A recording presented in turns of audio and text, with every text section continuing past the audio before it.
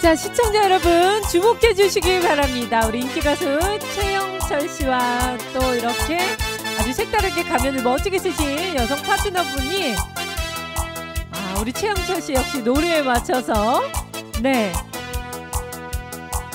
맞춤인 것도 같고요. 바로 저거죠. 제가 원하는 게 그냥 음악에 몸을 맡겨라. 네. 아니 여성 파트너분이 웃겨서 춤을 못 추시고 계세요. 네.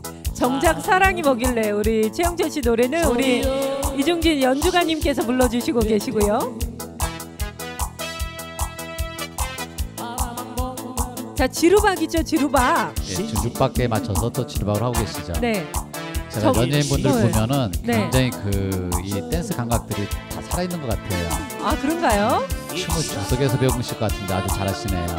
우리 최영철 씨는 저한테는 대 선배님이신데 평상시에 무대에서 그냥 노래만 하실 때도 저 정도 스텝은 밟으시거든요.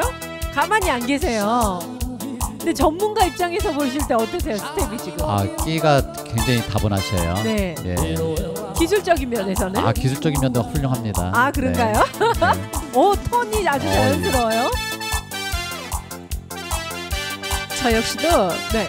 어, 우리가 춤은 기술이 많으면 뭐 당연히 좋겠죠. 그러나 아까도 제가 얘기했듯이 니드가 사치가 될 수가 있어요. 네. 네. 지금 이렇게 시연하시는 거 보면서 아주 간단하지만 니드만큼은 최고이신 것 같아요. 네.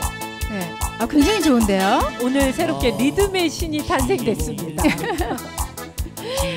두 분이 아주 느끼시면서 지금 춤을 추고 있어요. 네. 손의 텐션이 탁탁 들어가고 있습니다.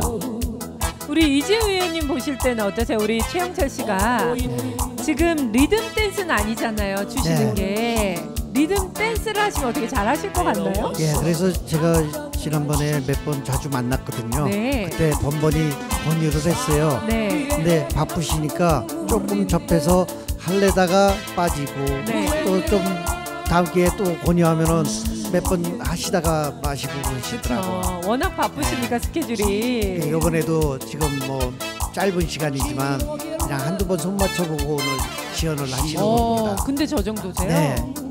그렇군요. 연예인들의 끼가 대단하다는 걸 또 느낍니다. 네.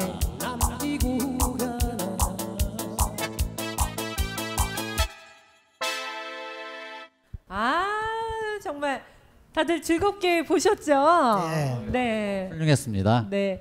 우리 최영철 씨의 아주 빛나는 무대까지 오늘 모두 만나셨는데요. 어떠셨나요? 우리 시청자 여러분들도 즐거우셨나요?